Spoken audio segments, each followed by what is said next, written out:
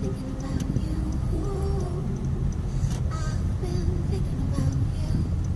it is. Good luck Thinking about you on 947. They're going to be performing live at the Parklife Gourmet Food and Music Festival.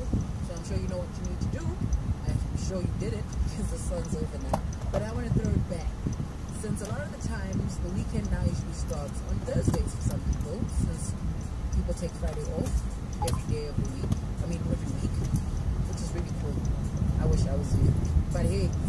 if I was working a job that I didn't like. This isn't even a job for me, this is fun.